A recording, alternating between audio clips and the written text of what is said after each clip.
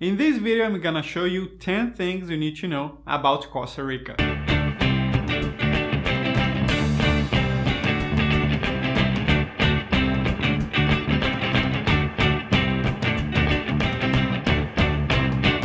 Hi there, my name is Felipe and welcome to Route Fluency. Every week you'll find here new tips on how to improve or learn a new language and everything you need to know about studying or working abroad. So if this is your first time here, consider subscribing and let's jump to the video. In case you don't know, I have already lived and studied in Costa Rica for about 3 years, so I'm gonna talk about some things that I think it's really important for you to know about this specific country. Number one is about the capital. The capital of Costa Rica is San Jose, and it's pretty much the first place that you're gonna have contact once you land in the country. In the capital, San Jose, you'll be able to do pretty much everything walking.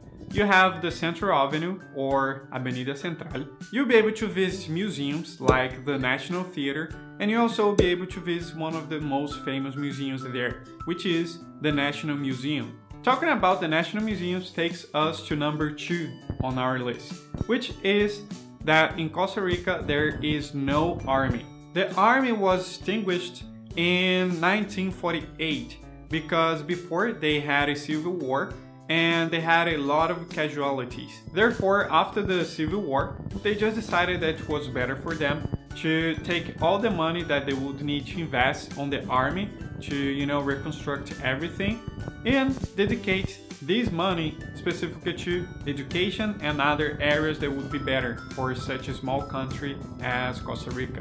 Some people also say they were a little bit afraid that in the future democracy might be endangered by a military coup. That's why to this day Costa Rica is well known for its pro-democracy policies and also for its policies towards peace. If you don't know, they held there in Costa Rica the Inter-American Court for Human Rights and also the University for Peace. Number 3.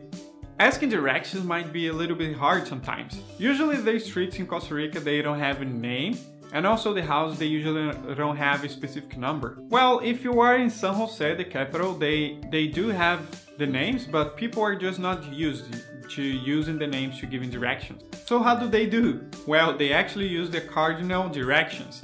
So instead of saying, you know, a normal direction, they will say, oh, you gotta walk 300 meters north and then you turn right and walk 200 meters east. Also, they sometimes use some references that are not just there anymore. So they probably say, for instance, go towards the old Coca-Cola building.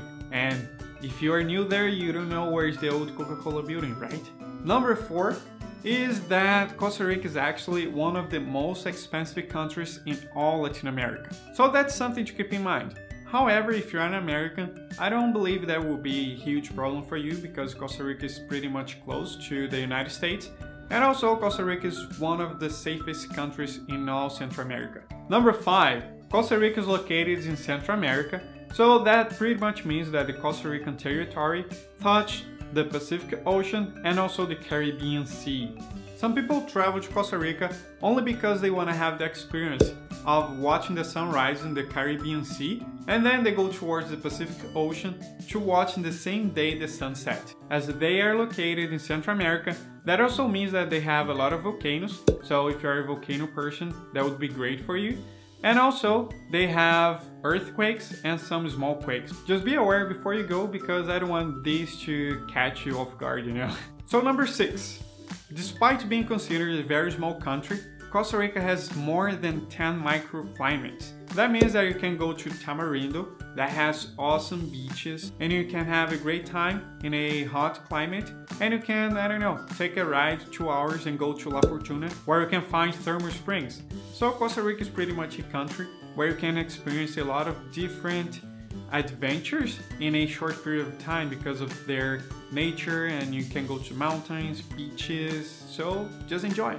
Number 7. One of the country's main stream of income is actually tourism. More specifically, ecotourism. As you know, more than 25% of the territory is protected, and also Costa Rica is one of the top countries when it comes to biodiversity by square meters. Number 8 is about food. The most common and typical food you can ask for there is gallo pinto, which basically is rice and beans mixed all together with some seasoning and it usually comes with pato maduro, comes with fried eggs and also some natilla or cheese. One of the things about this dish is that they usually eat that in the morning as a breakfast. The reason behind it is because Costa Rica was and still is mainly a farming country. So a lot of people back then used to work in fields, in farming and stuff like this. That's why they used to have such a strong breakfast to endure all the day of hard work. So what do you think? Do you think you could eat gallo pinto in the morning? Go down here and let us know. Number 9. Number 9 is actually about the way they address people. So if you study Spanish, you know that pretty much in all Latin America, they usually use tú, tú, as a informal way to treat someone.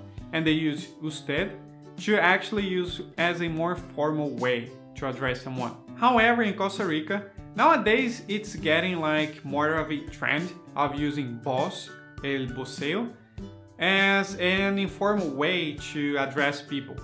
But in Costa Rica, they use usted as a formal and also as an informal way because they some people just don't use vos and they just keep using usted as they used before to address people they know and people they don't know as well.